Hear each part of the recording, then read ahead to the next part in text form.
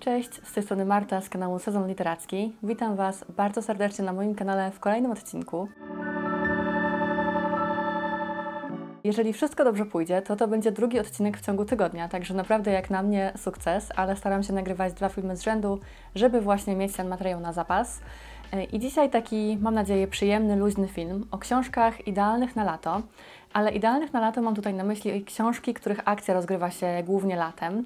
I będą to zarówno właśnie takie lekkie, wakacyjne romanse, ale też coś nieco mm, cięższego, ale jednak z tym latem gdzieś tam dalej w tle. Także mam nadzieję, że taki filmik Wam się spodoba i z przyjemnością go obejrzycie, a być może też, jeżeli przed Wami jeszcze urlop w sierpniu czy też we wrześniu, zainspirujecie się czymś i którąś z tych książek zabierzecie ze sobą na wakacje. I zacznę właśnie od takich totalnie lekkich, luźnych romansów. Nie wszystkie książki mam ze sobą w formie papierowej, także niektóre będę wyświetlać w formie okładki. I właśnie od takiej zacznę. To jest taka jedna z najbardziej przyjemnych książek wakacyjnych, jakie miałam okazję czytać. A jest to książka Podróż nieślubna Christine Loren. Jest to romans z motywem Enemies to Lovers. Akcja rozgrywa się na ślubie siostry głównej bohaterki, na którym niestety wszyscy e, dostają jakiegoś zatrucia pokarmowego, prawdopodobnie owocami morza, ale akurat właśnie nasza główna bohaterka i ten jej największy największy wróg, czyli brat pana młodego, nie jedli w ogóle owoców morza, także oni są jedynymi osobami na tym ślubie, które się nie zatruły, a ponieważ państwo młodzi mają już wykupioną i opłaconą podróż poślubną, no to trzeba kogoś na nią wysłać, po to, żeby po prostu nie stracić e, kosztów związanych z tą podróżą. E, I oni się generalnie nie lubią na co dzień, raczej żywią do siebie takie dosyć no, mało ciepłe uczucia, ale ponieważ muszą, no muszą, nie muszą, ale wiadomo, jest to romans, romanse na tym polegają, wyjeżdżają razem w tę podróż na Hawaje, no i spędzają tam czas, coraz lepiej się poznają, coraz bardziej się do siebie zbliżają. Wiadomo, co z tego wynika, no tutaj myślę, że nie ma mowy o spoilerach. Natomiast y, chociaż jest to książka też bardzo przewidywalna, to jest jednocześnie bardzo lekka, napisana z humorem, naprawdę świetna rozrywka, więc jeżeli szukacie takiej typowej plażówki, książki, przy której będziecie się dobrze bawić, y, przy której będziecie się śmiać, która naprawdę Was odpręży i zrelaksuje, a przy tym nie będzie wywoływać jakichś ściarek żenady, no to naprawdę bardzo gorąco Wam tę książkę polecam. I w ogóle wszystkie książki Christine Loren, bo ten duet pisarski pisze naprawdę bardzo fajne historie, także jeżeli jeszcze nie mieliście okazji, no to właśnie to jest moja polecajka numer jeden. I skoro już jesteśmy przy książkach, których nie mam fizycznie, e, to kolejna letnia polecajka, to każde kolejne lato. E, książka, którą czytałam całkiem niedawno, bo pod koniec czerwca. E, I jest to książka, w której głównymi bohaterami są um, Sam i Percy. To są przyjaciele z dzieciństwa. Oni poznali się w wieku chyba tam 12 czy 13 lat w takim domku letniskowym, do którego Percy każde wakacje jeździła ze swoimi rodzicami, ale ich drogi w późniejszym czasie się rozeszły i to uczucie, które między nimi no tak naprawdę kształtowało się od czasów takich nastoletnich, wczesno-nastoletnich, nie miało szansy się rozwinąć. Natomiast po latach spotykają się znowu, oczywiście te wszystkie wspomnienia wracają, odżywają, no ale trzeba będzie poradzić sobie z przeszłością i z tym, co w przeszłości się wydarzyło. Również bardzo przyjemna książka, taka typowo na lato. Mamy tutaj perspektywę teraźniejszą i przeszłą, więc dzięki tej przeszłej perspektywie mamy szansę poznać e, całą tą relację bohaterów, jak to wszystko było budowane, jak oni się zaprzyjaźniali, jak stawali się dla siebie coraz ważniejszymi osobami. No a w teraźniejszości mamy szansę poznać to, jakimi ludźmi są teraz jako dorośli, tam chyba około 30-letni ludzie, ale też no, co się wydarzyło tak naprawdę i co wiele lat temu ich od siebie oddaliło. Mówiłam o tej książce też niedawno w podsumowaniu miesiąca, także no nie będę się tutaj powtarzać, bo mam wrażenie, że, e, że dopiero co o tej książce mówiłam, a dosłownie tak było, ponieważ nagrywam ten film jeden po drugim. Tak czy inaczej jest to naprawdę idealna książka na lato, bardzo fajny letni klimat, nadmorskie miasteczko. Akcja tej książki rozgrywa się w Kanadzie i to też wydawało mi się ciekawe, bo jednak zazwyczaj są to Stany Zjednoczone, natomiast tutaj dla odmiany mamy Kanadę. I kolejna książka, bardzo zresztą podobna tematycznie właśnie do każdego kolejnego lata. To coś, o czym też nagrywałam cały osobny film na moim kanale, a jest to The Infinity Between Us, czyli również książka z takim właśnie podobnym motywem jak każde kolejne lato, czyli mamy tutaj e, Friends to Strangers to Lovers, czyli mamy parę, która poznaje się w dzieciństwie, zaprzyjaźnia się, później ich drogi się rozchodzą, a po latach ponownie się spotykają i mają szansę na nowo wzbudzić w sobie te uczucia, które kiedyś tam między nimi były. Tutaj z kolei mamy historię Violet i Willa. Violet i Will to też są właśnie tacy przyjaciele z dzieciństwa, którzy wraz ze swoimi rodzicami każde lato spędzali w takim domku wakacyjnym. E, natomiast wydarzyła się w tej rodzinie pewna tragedia, która obie rodziny na zawsze ze sobą, znaczy na zawsze, tak by się wydawało, że na zawsze, ale na długie lata ze sobą rozdzieliła.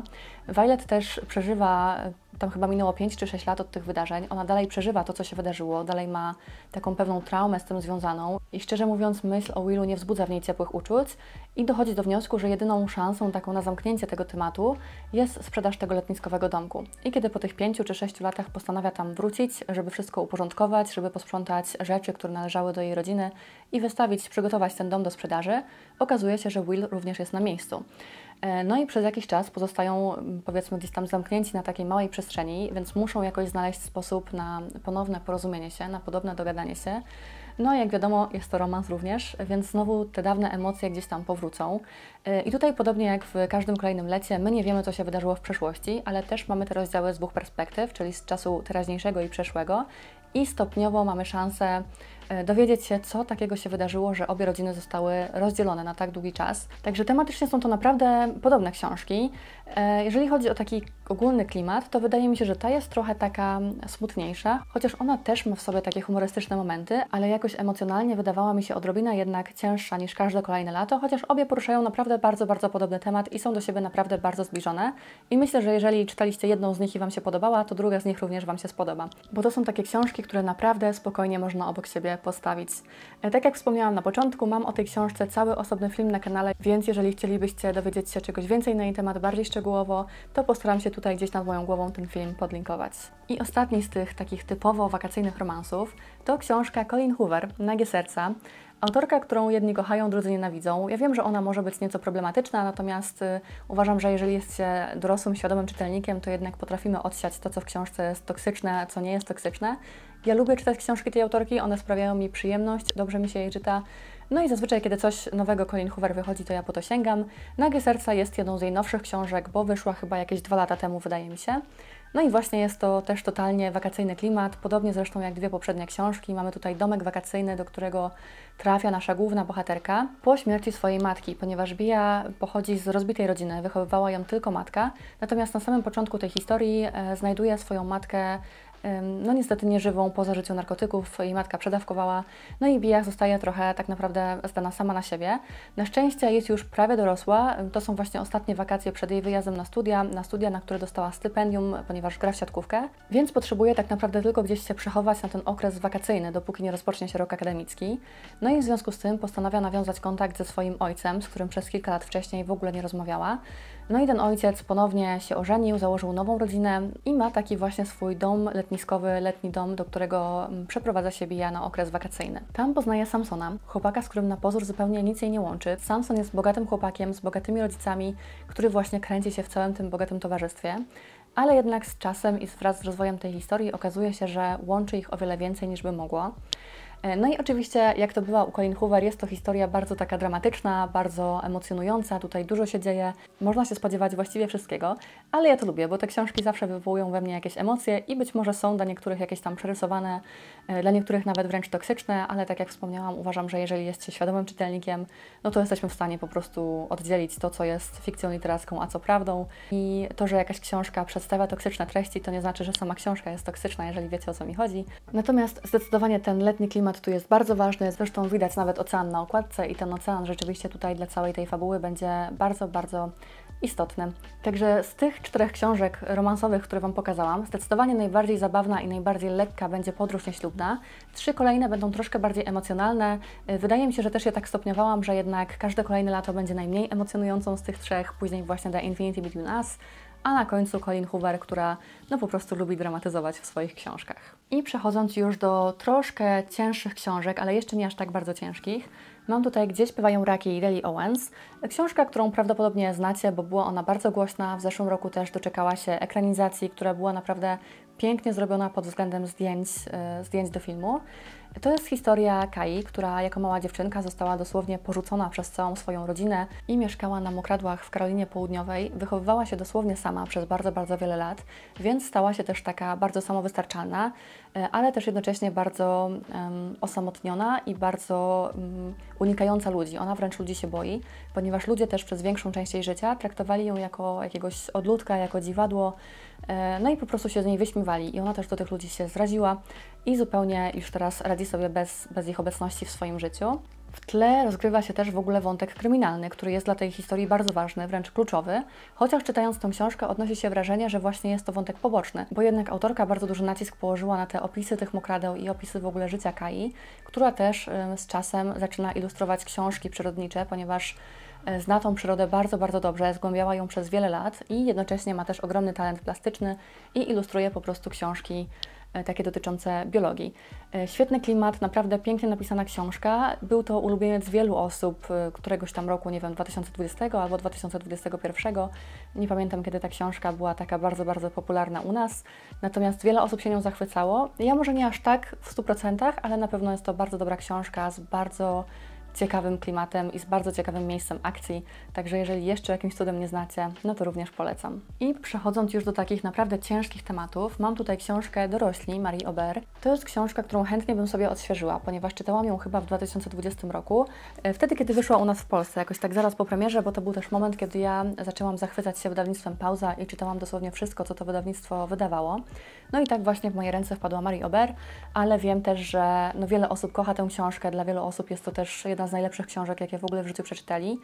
I zupełnie się nie dziwię, bo jest to książka, która ma niesamowity klimat, ale jednocześnie bardzo trudną historię i bardzo trudną główną bohaterkę, bo Ida jest około 40-letnią kobietą.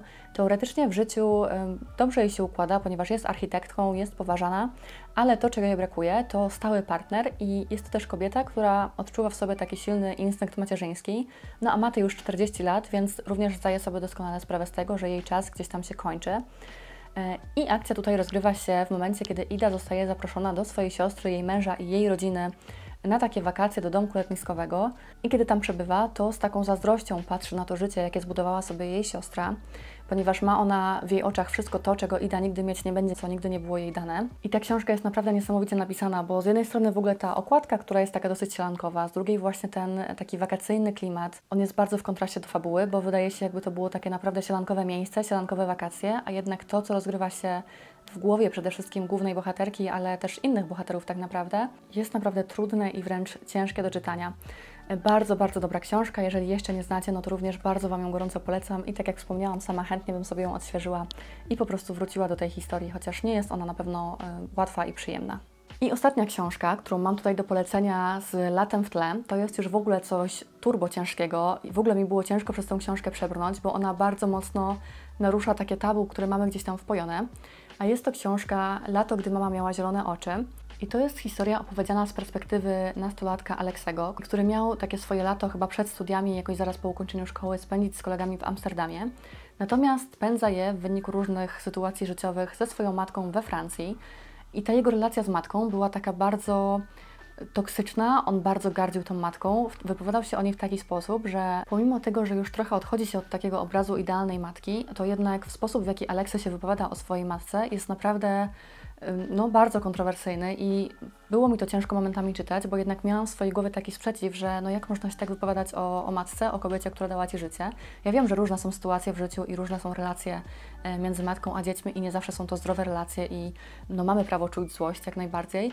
Natomiast tutaj to już naprawdę było takie ekstremum, które było mi ciężko przebrnąć i ciężko zaakceptować ten fakt. Także pod tym względem to było bardzo takie ciekawe doświadczenie literackie. No i to jest właśnie lato, które Aleksy spędza ze swoją matką i w pewnym sensie odbudowuje te relacje, to znaczy powoli, powoli oni zaczynają więcej rozmawiać, zaczynają się rozumieć, zaczynają wzajemnie rozumieć swoje problemy, jakieś decyzje, które zostały kiedyś podjęte. No i to lato jest właśnie takim przełomowym momentem zarówno w życiu Aleksa, jak i w życiu jego matki. Do czego ta historia zmierza, oczywiście nie będę Wam mówić, bo byłby to duży spoiler, natomiast jest to książka trudna, książka, na której się płacze i książka, przez którą ciężko przepchnąć. Także takim ciężkim akcentem zamykam ten ranking książek idealnych na lato.